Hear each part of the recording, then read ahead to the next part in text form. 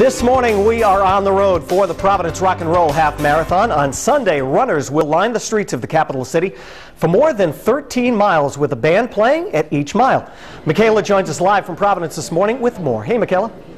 Hey there, Will. Yeah, over 5,000 runners will be participating this Sunday in the Providence Rock and Roll Half Marathon. I'm standing here with four of them, part of Team Determination uh, with the American Cancer Society. They call themselves Team Ohana, which means family in Hawaiian, I'm pretty sure. Carolyn, Megan, Christina, and Megan.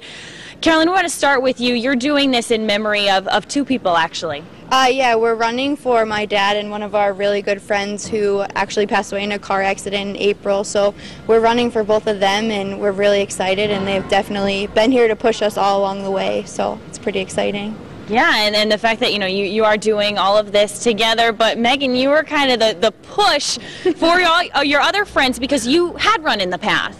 Um, yeah, I've actually done two rock and roll events before, rock and roll St. Pete and rock and roll San Diego. So I will get that loyalty medal. all you guys can be jealous.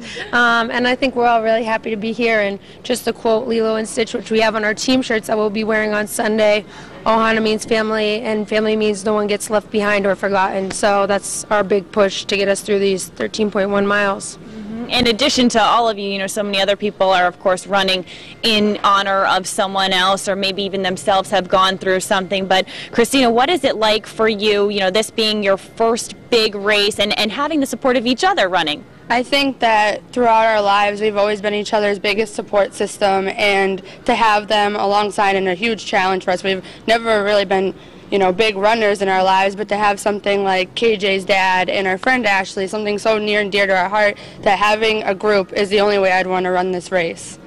Megan, what was the training like? I was talking to all of you earlier, and, and these are athletes, people. I mean, they've played every other sport that you could imagine, but you yourself were saying, I'll, I'll never run.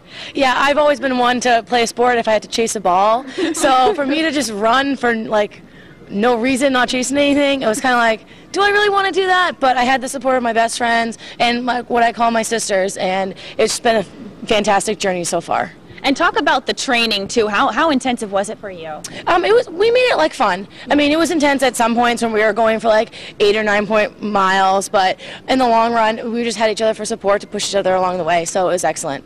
Yeah, and how about you too? I mean, kind of one of your first big races. Yeah. Any challenges along the way? Um, I know that all four of us are very, very competitive, so we push each other. So, um, you know, just staying on the same page with each other and pushing each other was probably the biggest thing for us. And all of you are coming from New Hampshire, and, and you've traveled, you said, to other cities along the way. What is it like to maybe run in a different city of Providence?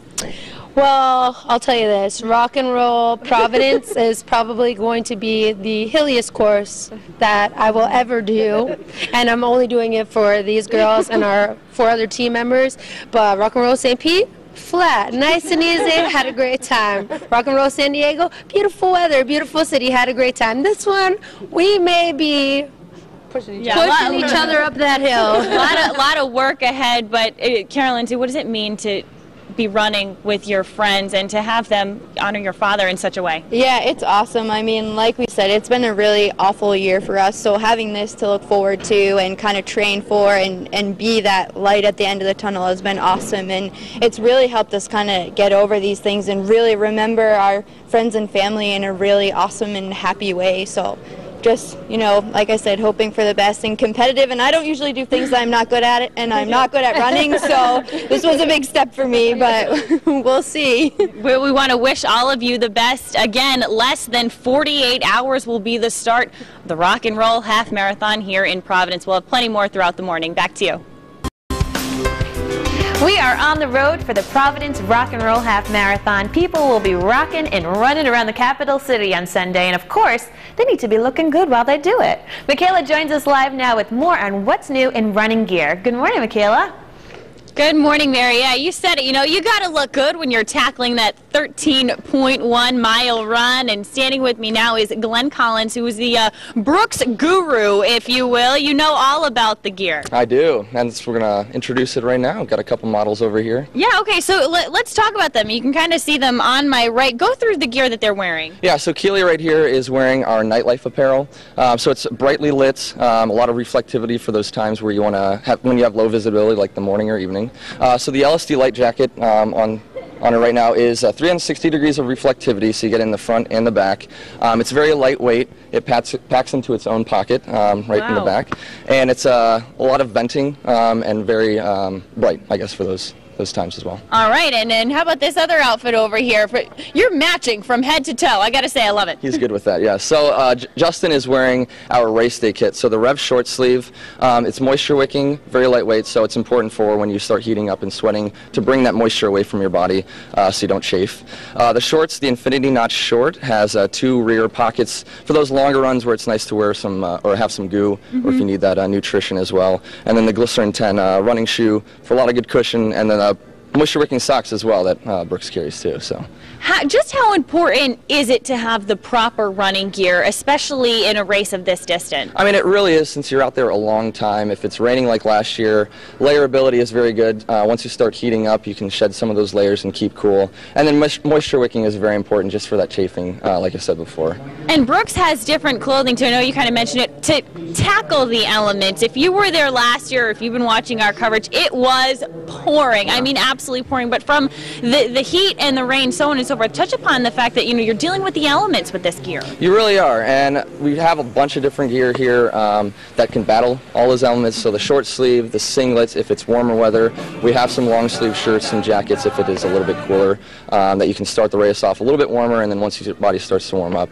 uh, you can shed some of those layers and, and just stay cool as well. And of course, footwear too. I mean, let, us touch upon their sneakers again. Just uh, they are different. A couple different shoes here. They are. So Keeley's wearing our new Pure Project shoes, which are a little bit lighter weight, a little bit more on that minimal side. Um, the fall colors are actually the neon colors, so they're a lot brighter. Um, yep. So they tie into um, her outfit as well. Mm -hmm. then Justin has the the Glycerin 10, which is more the core regular type of running shoe. Uh, just a lot of good cushion um, and cool colors as well. Nice. All right. So you will uh, be finishing the race in style with all of this gear. We're going to have even more live from Providence, gearing up for the Rock and Roll Half Marathon coming up. Back to you. Well, as Will just said, Sunday is the Providence Rock and Roll Half Marathon, and if you're spending these days getting your last-minute training, we're going to have some tips to get you race ready. Michaela joins us live from Providence with more. How's it going, Michaela? Oh, it is great. I am hanging out with three of my favorite guys right now. You, of course, know Mike and Louie, Amazing Race alums. You're pretty much Rhode Show alums at this point. And uh, their trainer, Geoff Smith. And Geoff, we want to talk to you first. You've been working with these guys even since they ran last year. Is that right? Yeah, they've been doing a great job. And what do you stress to for those who are running on race day? Talk about the important things that people should keep in mind. Well, it's they're going to be running a half marathon. The first thing they should do is don't do anything different if you've been training, go with your plan. Don't do anything outside of that plan. Eat what you normally eat. Don't do any experimenting.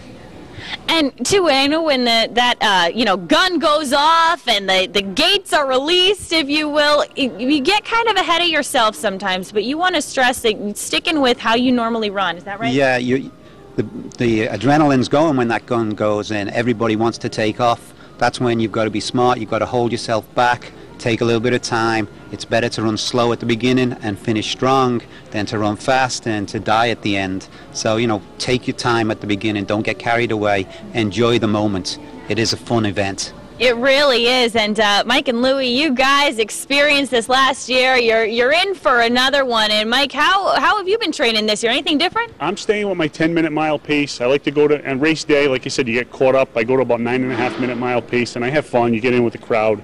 But this is my third rock and roll. So I did Vegas, I did Providence. Providence is going to be a blast. So I think if you haven't if you haven't signed up, get down to the expo today and sign up because this is an adrenaline rush like no other. So we're going to have some fun. I think it's going to be a blast. Yes, we are at the expo right now. It's going to be open uh, today and tomorrow. They're still setting things up. But Louie, you've had some challenges kind of a little bit last year because you weren't a runner. Right. Now you kind of are in that running role. Kind of. the good thing is Michelle and Tony told us the weather's going to be really nice that day, right? So we're really excited about that. It's not going to be raining. It's not going to be like pins and needles um, going through the skin. Yeah. Uh, I'm really excited about it. I, I'm excited. I just I love it. And you know the competitors group, the Mar- Rock and Roll Half Marathon has had us here, and uh, we're having a great time. And I can't wait to do it again. Absolutely. And, and Mike, I know you were mentioning before the atmosphere. That's what makes this race and, and sets it apart from others. Those Broncos cheerleaders going to be cheering for us around mile one. That's going to be the whole race. People are cheering. It's the atmosphere to keep you going. The bands. It's awesome. I mean, it's just a lot of fun to get down. If you haven't, if you want to volunteer, get down and volunteer because it's fun just to be here. And Geoff, you are quite the runner. You, you won the Boston Marathon, I think, what is it, twice, and you were in the Olympics as well. Any advice for those maybe running this for the, the first time? Don't be afraid to walk, take your time, jog, enjoy the bands, enjoy the music. This is all about fun. It's not about going out there and breaking a world record. It's about finishing and having fun at the end. And you can do that by taking your time. That's what it's all about, enjoyment. All right, well, we are definitely going to have some fun on Sunday morning. We want to thank all of you for joining us. And uh, we do want to stress, too, that they are looking for volunteers to help on race day. So make sure you uh, check it out and help us out along the way. We'll uh, see you on Sunday. Back to you.